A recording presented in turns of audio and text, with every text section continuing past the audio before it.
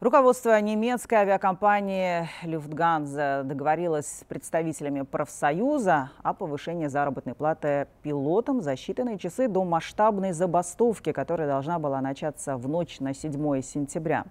Несмотря на хорошие новости для пилотов компании, для самого авиаперевозчика последствия сделки могут оказаться не самыми положительными. Повышение предложения по оплате труда позволит избежать отмены рейсов, но усложнит усилия авиакомпании компании по увеличению прибыли и погашению долга, утверждает Bloomberg.